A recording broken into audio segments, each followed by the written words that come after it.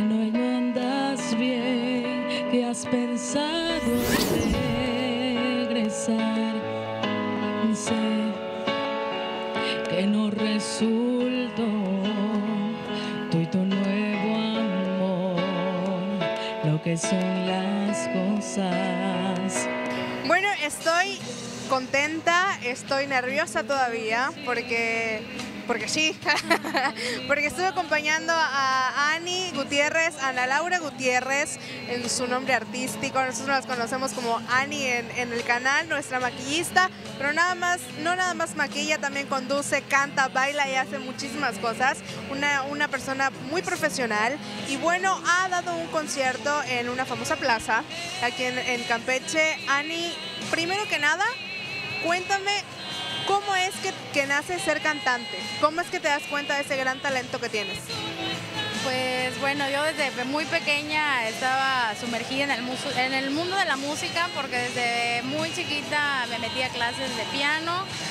Eh, creo que desde los cinco años eh, en la Secretaría de Cultura daban clases de piano eh, y ahí pues empecé mis pininos en la música y tiempo después, bueno, eh, ya crecí, de repente mi mamá estaba en un coro en la iglesia de San Francisco y me acuerdo que yo corregía a las, a las muchachas que estaban en el coro y entonces el señor que tocaba, eh, don Goyo Brito, eh, me decía, ¿por qué no intentas cantar? Estás entonada, ¿no?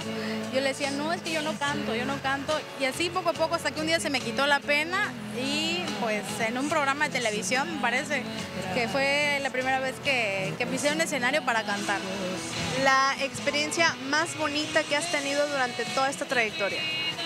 Sin duda, la presentación del disco Mi Sentir eh, en el año 2011. Eh, sí, yo creo que sin duda fue una experiencia inolvidable. cuando termina el concierto, todo el público, todo el teatro se puso de pie a aplaudirme como, no sé, un minuto yo creo.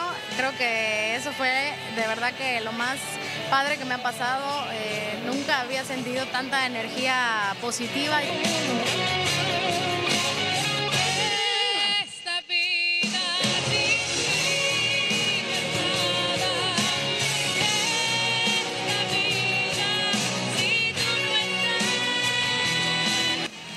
Para finalizar esa entrevista, Ani, eh, unas palabras concretas, breves, pero llegadoras.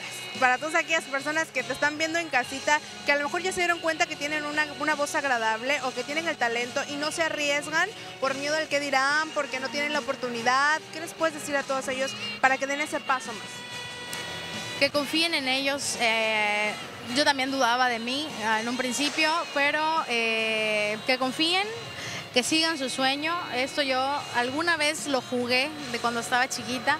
Eh, jugaba a ser cantante y pues ahora ya hecha una mujer hecha y derecha, como dirían, lo soy. Entonces, que sigan sus sueños, que si eso es lo que realmente les gusta y lo que quieren, que no descansen hasta conseguir lo que en verdad desean.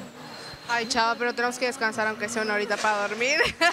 Ana Laura Gutiérrez, una excelente voz, la voz inigualable del estado de Campeche.